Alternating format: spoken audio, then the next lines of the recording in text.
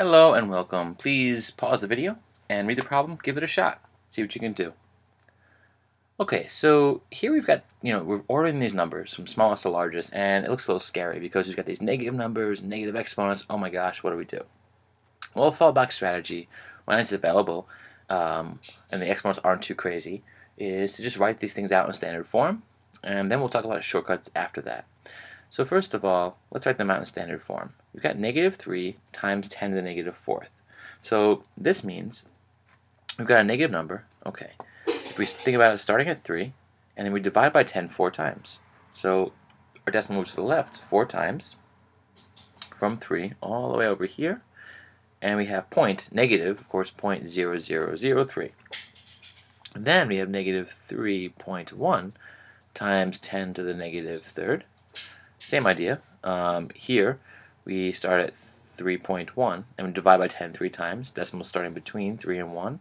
Just going to hop over here, three spaces, which means we're going to have, of course, two zeros. Line that up correctly. This is a negative number as well. We have two zeros this time because we started between 3 and 1. Three divisions of 10, it's negative 3 here. 1, 2, 3. If you count those spaces, it'll give you two zeros. Finally, negative 9 times 10 to the negative second. Okay, well, we've got a negative number.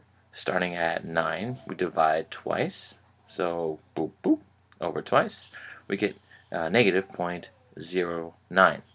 Okay, so with negative numbers, how do we compare these three? Which one's the largest, which one's the, the smallest? Um, well, the further you are from 0, the smaller the number.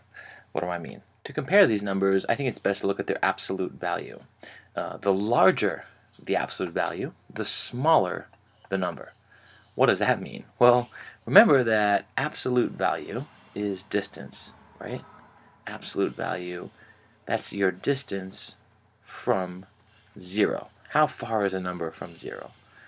And that's always going to be positive, right? Think if you have the absolute value, for example, of negative 2. Well, if we have a number line, here's 0, negative 1, negative 2. How far is this distance right here? Right? That is absolute value, and that's 2 units. So the absolute value of negative 2, of course, is 2. That's the distance that negative 2 is from 0.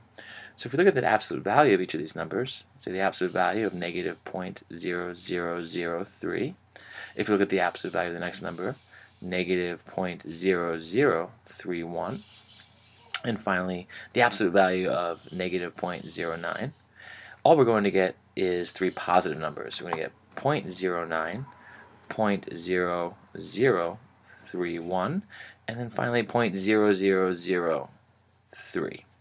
All right. So here, the larger the absolute value, the smaller the number. Why? Well, 0.09 has the largest absolute value, so that's the smallest. Let's just establish that. And then 0.0031 is kind of in the middle here, second largest number, so that's in the middle.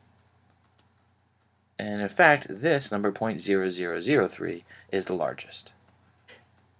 Now this is really confusing, right? Because you've got smallest absolute value gives you the largest number, and the largest absolute value gives you the smallest number. What's going on here? Well, this is the world of negative numbers, and sometimes uh, we have to remember that the negative world numbers reflects the positive numbers. What do I mean? Well, let's just look at a simple case. Let's say we have 0 in the middle and friendly decimals.